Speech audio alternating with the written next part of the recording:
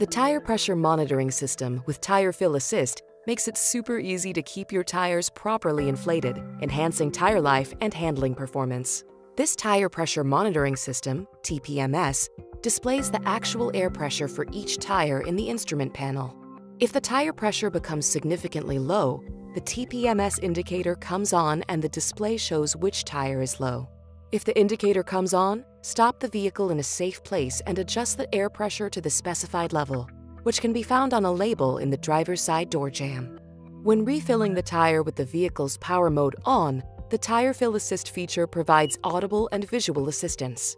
When the tire is being refilled while low on air, the beeper sounds and exterior lights flash once every 5 seconds. When the appropriate air pressure has been reached, the beeps sound and the lights flash rapidly for about 5 seconds. If a tire becomes overinflated while being refilled, the beeper sounds and the lights flash twice every 3 seconds. Release some pressure until the system indicates the proper level is set.